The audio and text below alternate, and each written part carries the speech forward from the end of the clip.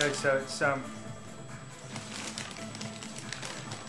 so it's uh, two minutes to ten, and it's um, time for dinner. I've got fried and the chicken mayo.